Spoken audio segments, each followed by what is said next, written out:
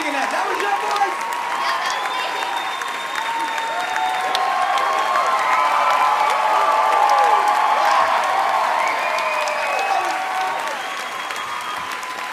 Howie. You know what? We were going to do this show, and we all said at the beginning it's kind of scary, and all we want to do is find that one moment, that one gem, that one star from a place we've never looked before in America's Got Talent. And you know what? This is the moment you're the star. Jackie, you're amazing. Wow. Piers. Are you sure you're not 30? Yeah. You're not just very small, right? You are 10 years old. 10 years old. Exactly.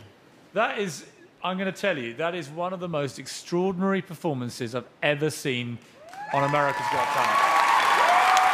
You've got it all. You've got, you've got the whole thing. You've got a lovely smile, beautiful dress, and then you start to sing, and everyone in this audience probably felt the way that I did. We all felt goosebumps.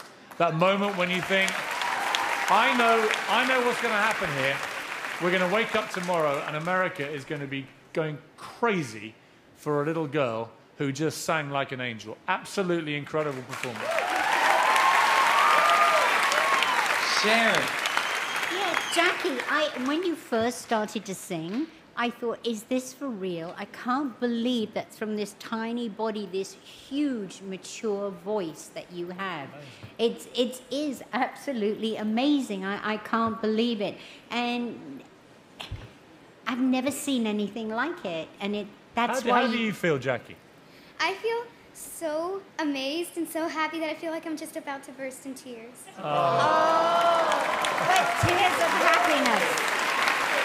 I, it's such a delight for us that you run the show tonight. Thank you for being here. America's Got Talent. Tuesdays and Wednesdays. For more, visit NBC.com slash America's Got Talent.